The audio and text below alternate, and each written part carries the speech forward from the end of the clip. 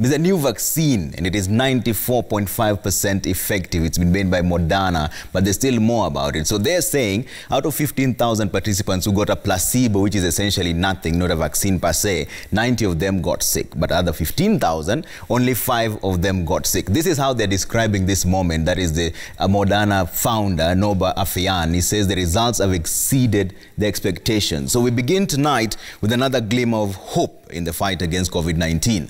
A second trial vaccine in the United States has registered a 95% effectiveness in preventing COVID-19. The vaccine developed by a company known as Moderna was found to protect 95% of those who took it from contracting the virus. Researchers say that even the 5% who got the virus after taking the vaccine did not develop any serious illness. The Kenyan government has expressed cautious optimism about the development, saying it will take time before such vaccines can be accessible to the country. Waihiga Mwaura begins our coverage with the story of the second such breakthrough in just one week.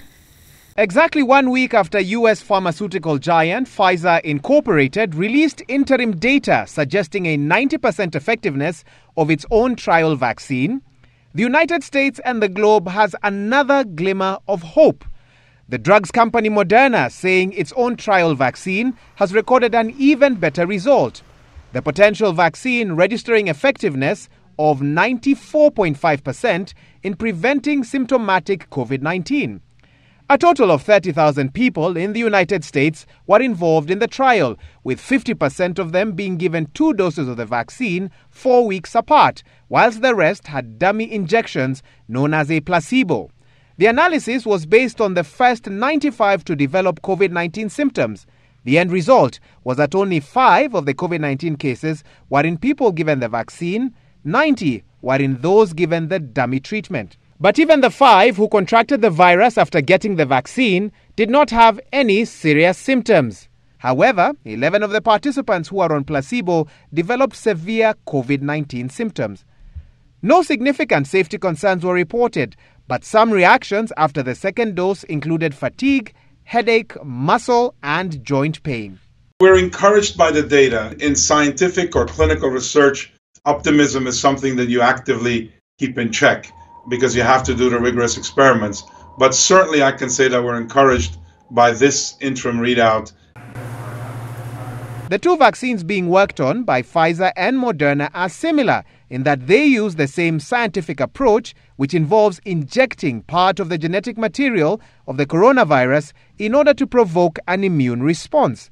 But Moderna's seems easier to store as it remains stable at minus 20 degrees Celsius for up to six months and can be kept in a standard fridge for up to one month, unlike Pfizer's vaccine, which needs ultra cold storage at around minus 75 degrees in many ways, we think that this is an important part of the usefulness and ease of use of the vaccine, which, if we're talking about hundreds of millions of, of doses, will become a very important consideration. Moderna intends to submit the vaccine to the U.S. regulator, the Food and Drugs Administration, for emergency use authorization in the coming weeks. And should all go well, 20 million doses will be available in the United States by the end of the year whilst for the rest of the world, 1 billion doses could be available next year. But amidst the global optimism, the Ministry of Health here in Kenya is urging caution, asking Kenyans to manage their expectations. The government concerned, among other issues, by the logistical challenges of storage and transportation. Therefore, even if these vaccines become available, we will need to revamp our entire cold system to be able to accommodate them. And of, of course, you also need to remember that the demand, if the vaccines become available, will be so high, and therefore, countries, especially the developing countries, will be the, at the tail end of receiving the vaccines. Kenya and South Africa are currently engaged in COVID 19 vaccine trials, but so far, no sub Saharan African country has engaged drug manufacturers directly to reserve doses of the potential vaccines currently in development.